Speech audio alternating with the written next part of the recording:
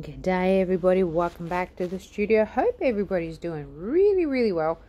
Um, I have got some new molds. Ooh, the, the this is a set. It's a four heart-shaped geometric patterned uh, heart sort of uh, molds with a holder, and uh, I'm just going around uh, with a holder to start with just uh, using some crushed glass. This is the holographic Le'Rez crushed glass. Uh, it should give me a really really nice effect. And then going around with some a ruby red which I love and a little bit of bronze powder pigment. Uh, it's a really really nice color and some port wine. Um, and now a little bit of pearl white. Just uh, doing you know just uh, just trying to create some effects. And you don't even have to try very hard with these things. And yeah I had some leftover pigment so I just shared it with with my dragonfly. So a little bit of clear going over the top. And uh, yeah this is it. It's uh, the next day or the day after the next day actually because I used a resin which is quite a flexible resin. Great for tabletops can, uh, you know countertops or uh, canvases or boards or anything like that but not so great for the molds because it's quite flexible and it's uh, still a little bit bendy even after two days. Although the, the the the you know the design and everything looks great but it's still you know, not not as hard as you'd want it to be. Um, so this part here, I really see it's still a little bit sticky. Not too keen on it because the things don't, nothing's really holding these um, coasters in there. See that? So what I want to do is, I thought of something which they should have thought of. Um, just bend it a little bit. Actually bend it quite a bit. I've just got just like a, a roll of um, something, tape, anything. And I'm just to have it, so I just want to test it out first and see how far I should go. Because then, look at that. They can sit in there beautifully. You can put them whichever way you want it straight or you want it sideways. Just got to make sure that they will fit. Maybe that's a little bit too big. Although it's perfect like that. Just got to make sure that this fits. Sorry, I'm often talking to myself and I forget that you're there. I just want to make sure when this sets that it's wide enough and these things will fit in there. That's important. Right, so that's good. I'm happy with that now. Now I'm going to tape it a little bit just to hold it in place like that. Oopsies. I'm going to let it sit and that should be good.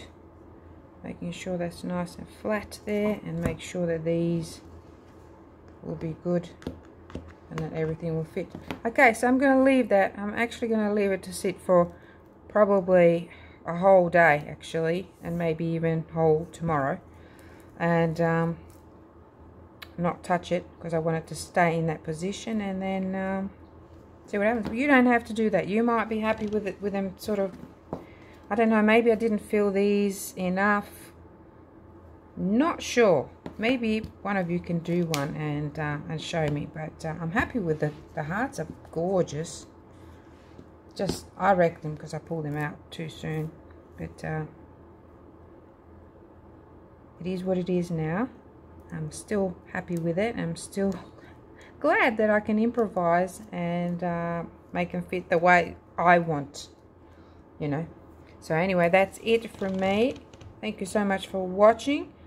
And um, let me know what you think. Let me know what you think of if you have any um, other ideas. But that's it from me for now. Thank you so much for watching. Bye for now. Okay, we're back. Let's see what happens here or what's happened here. You just pull this tape off Here we go. Tape is off. Same here. The tape may leave a little bit of a sticky kind of residue on here, but you just get a bit of alcohol. That'll fix it. And here we go. It's still a little bit Wow, but anyway, I like it. And what I did with these guys, I um, I I added a, an extra coat of resin, and I just kind of uh, dripped a drop, actually a couple of drops of this. Um, uh, what is it? Bronze. This is bronze pigment in a bit of alcohol. So I just did a little drop just to give them a little bit of interest and a bit of character. So let's see what they look like now. Should be interesting. So let's see what they look like. So this first one is a little bit wider, which is fine. Pop another one in there. It's a little bit funky. And here comes another one. Look at that. Much better, I think.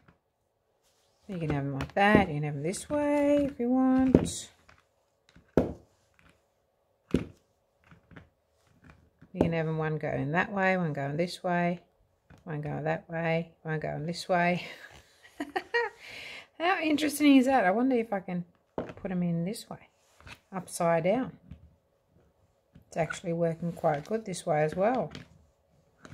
Anyway, so there's a few options there for you. I just didn't like them the way they were. I, I like them better this way, and it is a little bit wobbly.